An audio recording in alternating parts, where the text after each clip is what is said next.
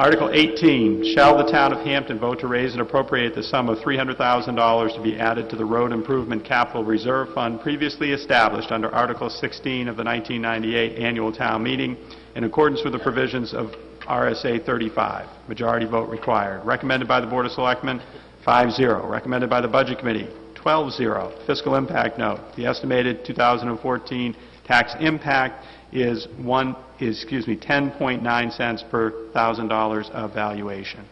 Is there a motion to open discussion on Article 18, moved by Ms. Woolsey, seconded by Mr. Plouffe?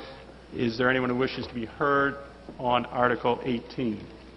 Ms. Woolsey? Very briefly, this is a fund that was started, Mr. Warburton is here too, it was his board, and Mr. Plouffe's as well, that put this into play in 1998, and the town approved the concept of setting up a capital reserve fund to repair the roads.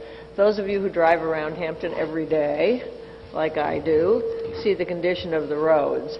The, the idea was to save up sufficient money to do large road projects, uh, like the Exeter Road project, that now is going to cost us something like $2.5 million in bonded indebtedness to finish the rest of that road.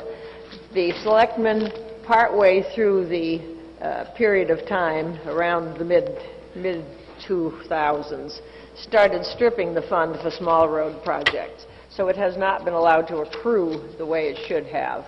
The interest gained by the money sitting in the fund also is allowed to accrue to the fund. It's a very wise investment. I hope to see this fund over the years built up to at least a million and a half dollars so that the town and the Public Works Director can then start doing multiple road projects and start bringing us back with our roads in decent condition. It's an excellent article, and you will notice one small point in the writing of the article, there is no authority in this article for the Board of Selectmen to withdraw. They cannot withdraw this money for, from the fund this calendar year or this, this tax year. So you're, you're safe. Thank you, Ms. Woolsey. Anyone else wishing to be heard on Article 18? Seeing none, Article 18 will appear on the ballot as printed